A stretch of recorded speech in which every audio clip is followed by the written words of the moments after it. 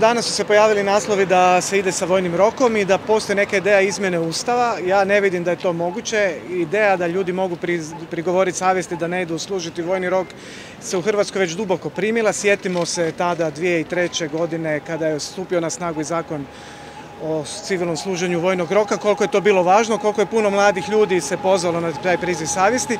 Ja mislim da taj smjer sada staviti još tu diskusiju oko izmjena Ustava samo će komplicirati već dosadašnje rasprave oko izmjena Ustava. Znate da su na stolu i priča o tome da pobačaj se zaštiti Ustavom, kao i neke kriterije oko refer- referenduma, tako da mislim da je loše da se ide otvarati Ustav zbog tog pitanja. Nego tko hoće ići u vojsku, može ići u vojsku, tko ne želi ići u vojsku, mi se uvijek zalažemo da da doprinos kroz civilnu zaštitu.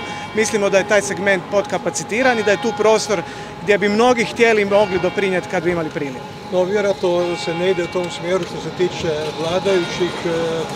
Promje- Promjena Ustava zahtjeva mnoge druge kompromise, vjerojatno. A i suce će trebati birati ustavno, A, još i to. a isto tako može se to ostvariti na drugačiji način. Oni očito žele destimulirati ljude da biraju alternative služenju vojnog roka time što će taj civilni vojni rok biti zahtjevniji nego što je bio do sada. Pa te, te metode destimulacije, to smo sve prošli tamo početkom 2000-ih. U Hrvatskoj je na snazi zakon o e, suzbijanju diskriminacije. Znači vi ne možete nekog staviti u nepovoljni položaj samo zato što ne želi služiti vojni rok, a želi doprinijeti ovoj zemlji na neki drugi način.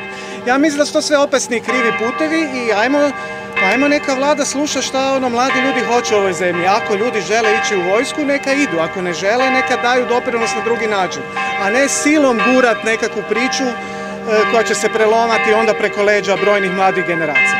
ali to ne mora nužno biti na taj način e, da oni budu diskriminirani, e, da budu u težem položaju, nego može biti jednako Ako je ravnopravno, sve zaštita kao i vojni rok. Ako je ravnopravno, to je sve ok.